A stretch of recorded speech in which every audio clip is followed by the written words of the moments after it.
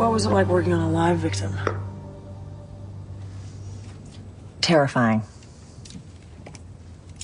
And exhilarating. Natalie confirmed your theory, though. Lucas had about a half dozen girls working off tuition. Yeah. Lucas was a company store, fronted the money to Danielle. Maybe she found out that he was blackmailing the professor, and he killed her. Yeah. She probably thought she could get out if she threatened to go public. The poor father, what he must be going through. I applied to BCU.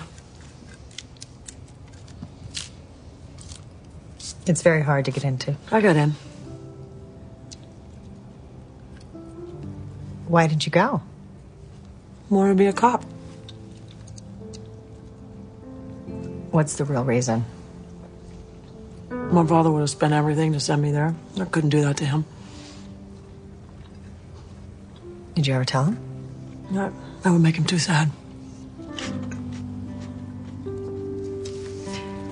Well, I wonder what's going to happen to Natalie. She's going back to school. What? Made a little deal with the chancellor. We keep a lid on it, they go back to school. On the university's expense. Mm-hmm. But you know, if this got out, people might be judgmental.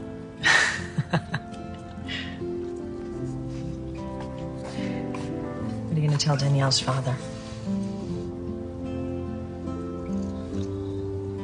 All he needs to know is that his daughter loved him very much.